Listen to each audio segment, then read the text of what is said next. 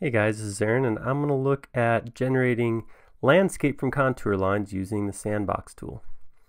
Right here I have a bunch of lines I've imported.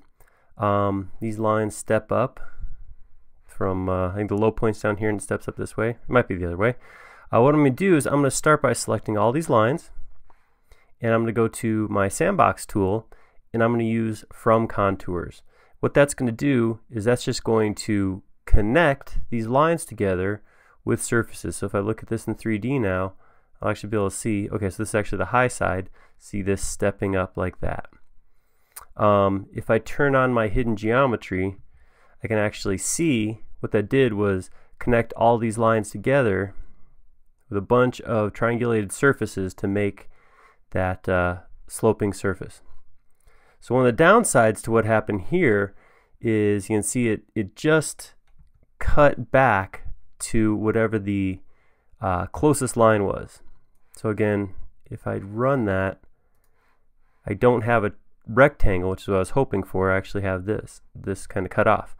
So over here I have another set of lines, and what I did was at the at the rectangular points where I expect this to go to, I've actually placed a couple of small line segments just to identify where those corners are. And they're at the proper height, uh, the height of the nearest line.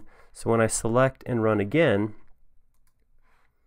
I get my slope surface, but I maintain my rectangular lot size.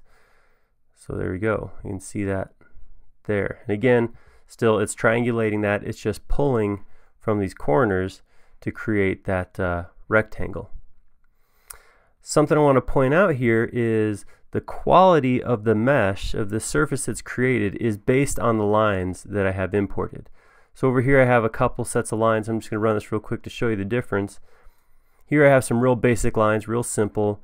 When I run from contours on there, it does give me the slope of my line, so I can see it coming up. But if I look at the uh, hidden lines, see real simple, real blocky almost. Whereas if I run that on this, I know it's a silly looking bunch of curves, but when I run that, I'll see I get a much smoother, broken up uh, surface. So the lines you use for contours do have a direct impact on the quality of the uh, mesh you get for your landscape in the end. So that's it, quick overview on using Sandbox tools from contours to create landscape from lines.